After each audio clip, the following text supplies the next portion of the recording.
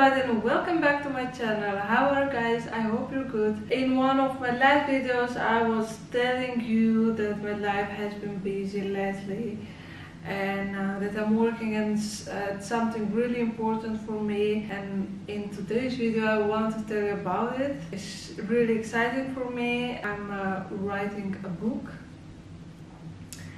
and uh, that book uh, it will be about my life and most of all uh, what I learned since my accident and you know the experience that I had uh, good and bad and how I did uh, to overcome uh, trauma and all the things. So uh, that's what I was working a lot and I'm, still working at it but now it's almost at the end. So uh, I'm hoping to have everything done before my birthday this year. So that's getting close, but um, yeah, that's uh, what uh, I wanted to share with you guys. Let me know in the comments below what you think about and uh, if you would read it, because of course uh, it should be uh, of your interest. But um,